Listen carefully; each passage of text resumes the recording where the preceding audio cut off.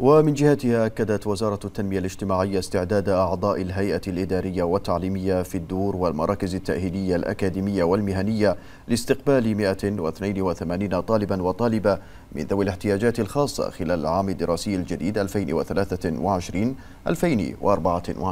وسيقدم مركز التأهيل الأكاديمي والمهني العديد من الخدمات التأهيلية والتربوية والمهنية إلى فئات الأطفال والشباب من ذوي الاحتياجات الخاصة من خلال وحدتي التأهيل الأكاديمي والتأهيل المهني وتشهد المراكز التأهيلية الأكاديمية والمهنية هذا العام المرحلة الأولى لتطبيق المناهج الدراسية للبرامج التأهيلية الأكاديمية والمهنية التي تم الانتهاء من إعدادها وتصميمها كحقائب تعليمية ملائمة لنوع وشدة الإعاقة للطلبة. وذلك بهدف تذليل التحديات والصعوبات التي تواجه مسيرة التأهيل من أجل تقديم برامج تأهيلية تعليمية نوعية ذات كفاءة وفعالية.